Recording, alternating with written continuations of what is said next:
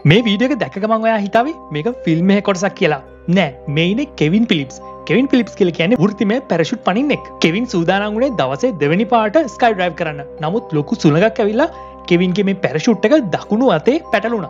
මේ සිද්ධියත් එක්ක කෙවින් ගොඩක් අඩු කාලෙකදී ඉතා වේගෙන් පහලට වැඩනා මේ වෙලාවෙත් කෙවින්ගේ අම්මත් මේ අසලම තමයි ඉදල තින්නේ ඉතින් කෙවින්ගේ අම්මට මොනවනම් හිතෙන්නද කෙවින් මේ උත්සාහ ගන්නේ දෙවනි පැරචුට්ටක එමනතන් ආධාරක පැරශුට්ටක ක්‍රියාත්ම කරවන්න. හැබැයි ගොඩක් ඉක්මට කෙවින් පහලට වැටෙනවා.